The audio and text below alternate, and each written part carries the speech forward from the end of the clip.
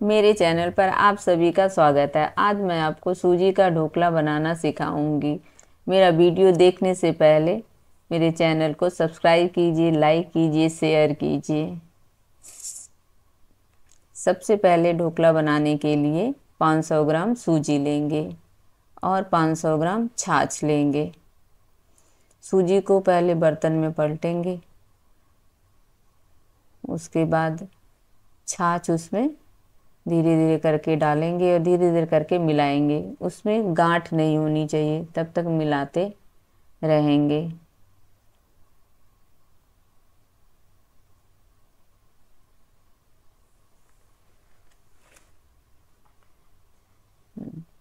अगर आप चाहें तो छाछ की जगह दही का भी इस्तेमाल कर सकते हैं।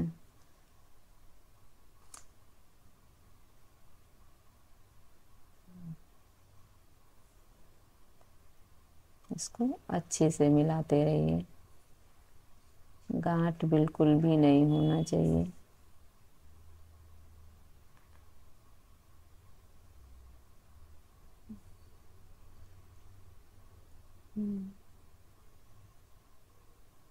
अगर छाछ कम पड़ जाती है तो पानी का भी इस्तेमाल थोड़ा कर सकते हैं।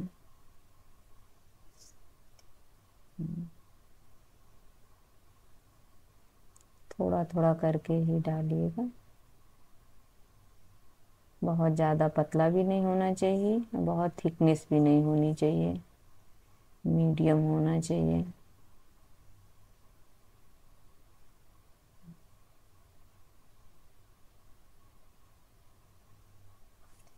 अभी देखिए, थिकनेस है इसमें तो हम थोड़ा सा पानी इसमें ऐड करेंगे।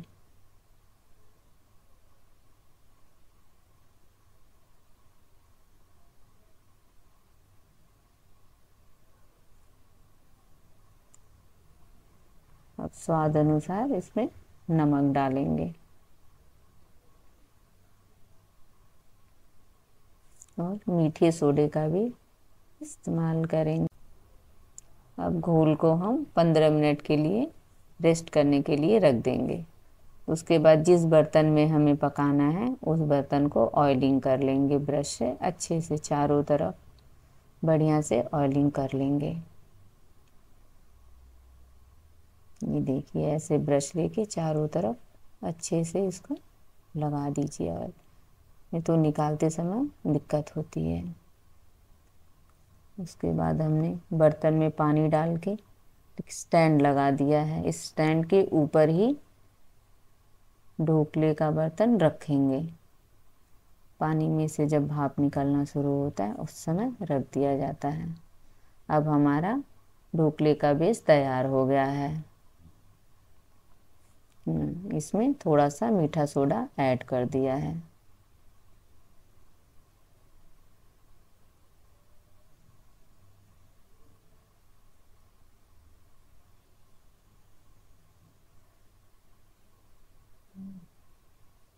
रेस्ट करने के बाद थिकनेस थोड़ी आ गई है तो थोड़ा सा पानी और ऐड करके इसमें अच्छे से मिला लिया।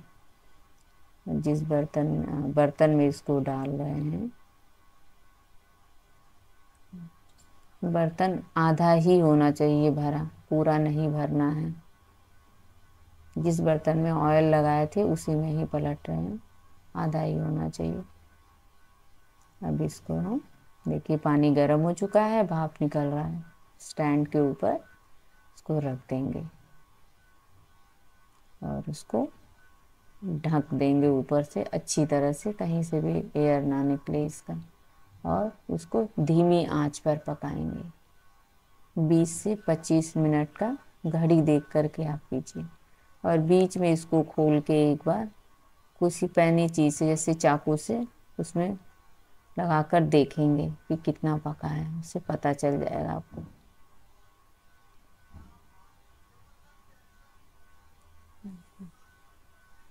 हमने खोल के इसको बीच में देखा।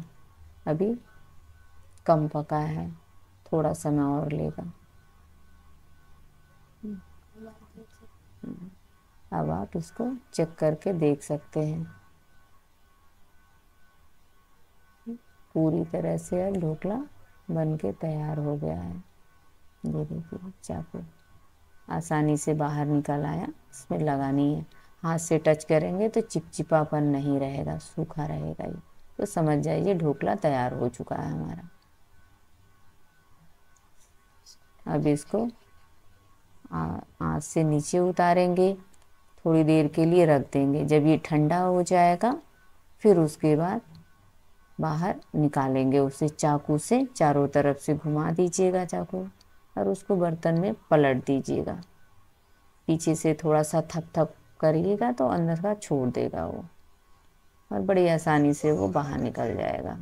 उसको फिर छोटे छोटे टुकड़ों में काट लीजिएगा।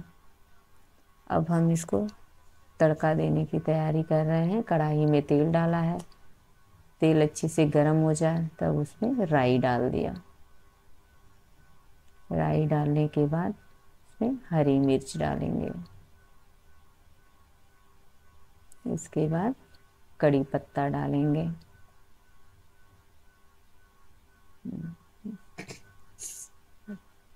ये हो गया है। इसमें अब हम अपने मसालों को ऐड करेंगे।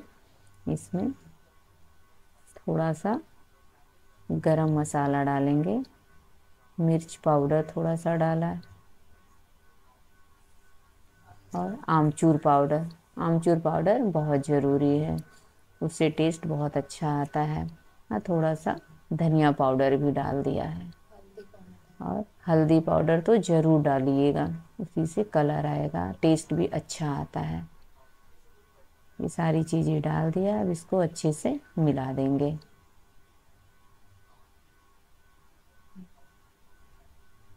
अभी सारे मसाले हो गए अच्छे से मिला करके, अब इसमें हम ढोकले को पलट देंगे।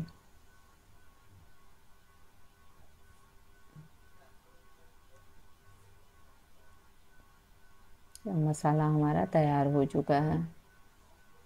मिर्ची, कड़ी पत्ता सब कुछ पक गया। अब ढोकला इसमें डाल देंगे। डालने के बाद इसको अच्छे से मिक्स कर देंगे सारे मसालों को बढ़िया से। मिक्स कर दिया। अब ये देखिए हमारा ढोकला बन के तैयार है। और सूजी का ढोकला बहुत हेल्दी होता है। खाने में टेस्टी भी होता है। बहुत जल्दी डाइजेस्ट हो जाता है।